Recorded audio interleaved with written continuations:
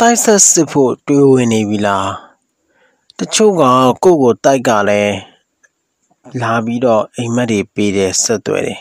ဒါပေမဲ့ကိုဘယ်တိုက်ကမှမသိဘူး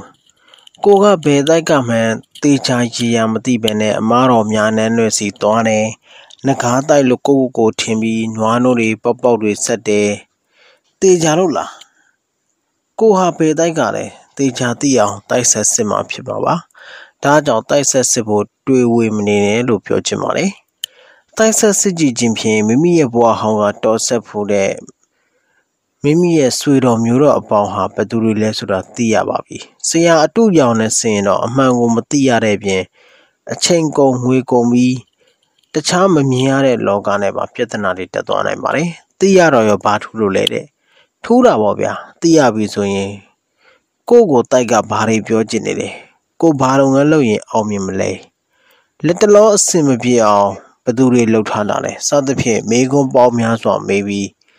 တိုက်တွယ်လှုပ်တင်တာလှုပ်ပြီးလိုက်ရင်ကိုကိုကျမ်းမာချမ်းသာအောင်မားစားပါလိမ့်မယ်။ဒါဆိုအကျွေးတွေရောကြည်မာလားအလုတ်ကန်တွေရောအဆင်ပြေမာလားအဲ့ဒီလိုမေးနိုင်ပါတယ်။မမြင်ရတဲ့နံလောကဟာတိတ်ကျပြန်ပါတယ်။အလုံးမရှိတဲ့သူကတော့နိုင်ဝက်အတွက်လှုပ်ရှားပေးနိုင်တယ်ဆိုရင်